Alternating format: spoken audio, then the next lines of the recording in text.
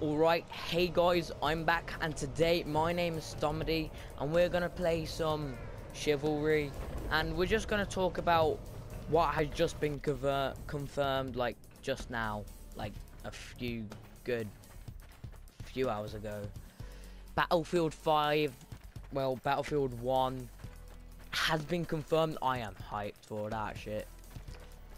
But yeah, it's set in World War 1 fucking tanks. Their first tank, British tank, is fucking really lovely. Yeah. Yeah. I think it's going to be the best, one of the best battlefields out there. Like, when, like, that's been really. Because it just looks really good. But, yeah. Some chivalry. Chivalry. Is it chiv Yeah, chivalry gameplay. And yeah. That's what it is.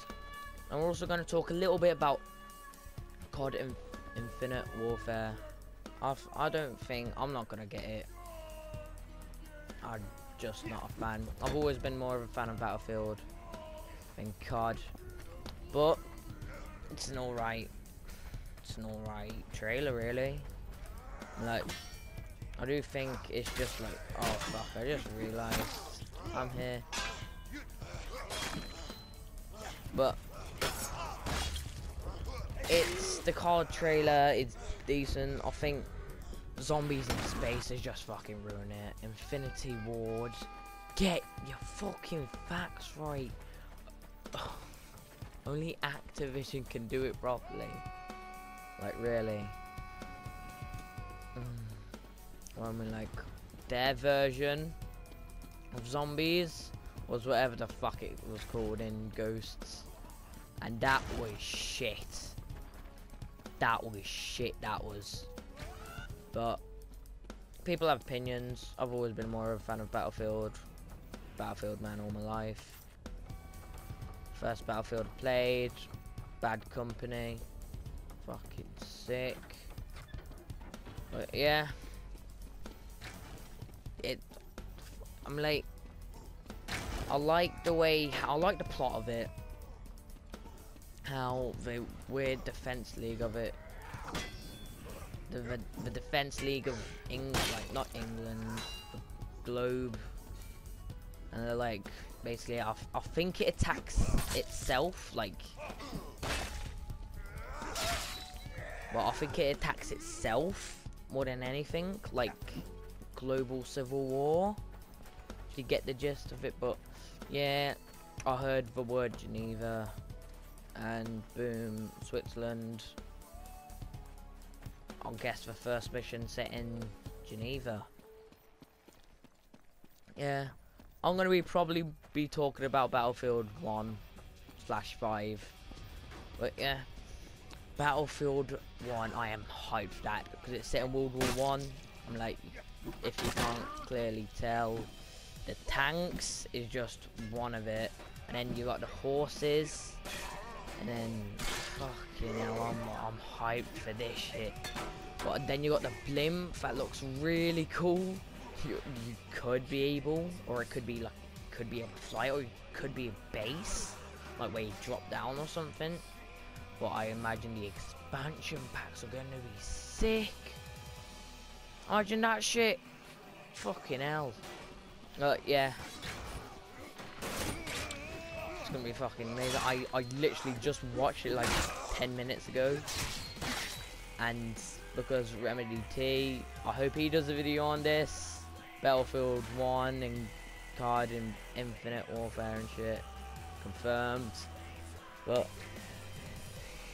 I'm ways more, like a lot more excited for Battlefield 1. I'm, I've always been more of a fan of pre, not prehistoric, uh, not dinosaurs dinosaur.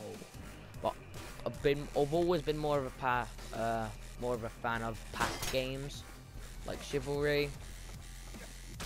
I do have to say it's better on PC. Uh, oh well, I my own teammate. I don't give a shit. But it's just, oh, that name got me hyped. I mean, I don't think it did for other people, but I just think it was amazing. But that is literally the best trailer I've seen in my life. I'm not fucking like. Oh my god. It is something. But yeah. Yeah. I'm just searched up now on my phone. It said the United States in World War One declared war on the German Empire on April 6, 1917, which is pretty much near the end of World War One, if my history teaches me right. The US was an ind was an independent power, but not officially joined the Allies, England, France, etc., etc. But it closely operated military, but but acted alone in diplomacy. The US made its major contra contribution in uh, providing raw resources and materials and weaponry and all that shit and money. But yeah, it, I don't think in the campaign it's going to be an American this time. I think it could be English. It could be French. It could be French. But yeah, they were the main two powers besides Germany. Like, or it could just be like really weird with it, and just choose like you can be German, or French, or England, and you can just have different, like, different campaigns for all of them. Oh shit! Or it could just be really weird. I don't, I don't think they're gonna do this, but they could just do it like just online, like Elder Scrolls Online.